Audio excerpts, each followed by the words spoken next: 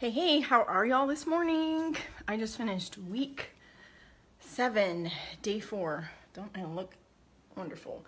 Um, I am chugging my post workout drink because that was hard, but today was all cardio. Like we finished all of the weight workouts the first three days of the week. So today was all cardio. And I have a confession to make, something you may not uh, realize or believe about me, and that is that um, I have to cover up when it has a, like the little timer countdown at the corner. I have to cover that up because I fixate on that and then it's hard for me to get through a workout. So I have to cover that little timer thing up.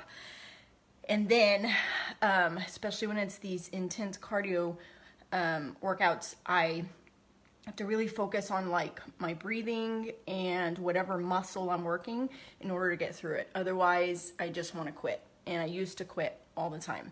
Um, today, my asthma was kind of flared up, um, was making it hard to, to breathe. But here is the silver lining. The little, uh, the cardio, it was in a little burst. None of them were more than a minute. And they went from 30 seconds up to a minute, and then you had a break. So I can handle that. so anyways, I wanted to share that with you because I have a lot of people that always say to me, um, I can't do that. You know, I don't have that type of athletic ability. I don't exercise at all, um, and I didn't either. But this, but I got started, and the point is, you get moving. You keep your body moving, even if it's a modified version, even if it's much slower than the people in the in the workout video that you're following.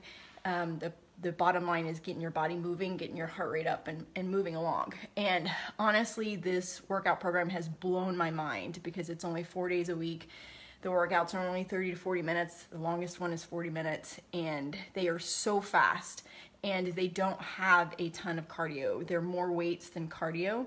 And every single one has core, which I love the core now, but used to absolutely hate it. So um, the results are rolling in, and it's so simple and so fast, four days a week. I just can't believe it. And I share that because this is something that any one of y'all can do and, um, you know, modify it to your ability and then you'll have my support community to help you. So if something that you are interested in, definitely chat with me um, because I can get you these results too. You can totally do this just like I can. Okay, so that's my confession for this morning.